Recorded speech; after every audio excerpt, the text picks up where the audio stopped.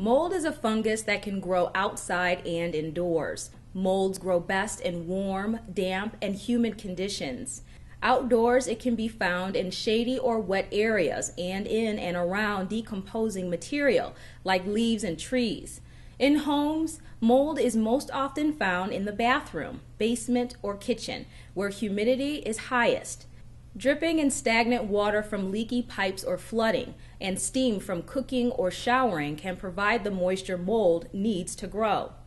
Mold can affect the air quality in your home. It spreads and reproduces by making spores. These spores get released into the air and can be breathed in. Some people are sensitive or allergic to mold and its spores. Exposure to mold can cause a stuffy nose, eye and skin irritation, and wheezing. People who are extra sensitive or have certain respiratory conditions can suffer a worse reaction like fever, shortness of breath, asthmatic symptoms, even lung disease, and mold infections within the lungs. The Institute of Medicine found evidence that mold exposure can trigger respiratory illness in otherwise healthy children. There are several things that can be done to avoid exposure to mold. Outdoors, the easiest thing to do is avoid areas where mold is commonly found. Indoors, use a vent fan or crack a window when cooking or showering. That will cut down on the moisture that the mold needs to survive. A dehumidifier can also cut down on moisture air in the home.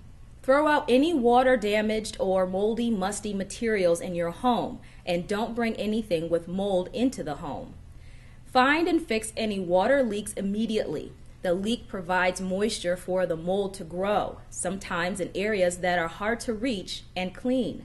Small areas of mold can be removed from hard surfaces with certain cleaning products, soap and water, or a mild bleach solution no more than one cup of bleach for one gallon of water.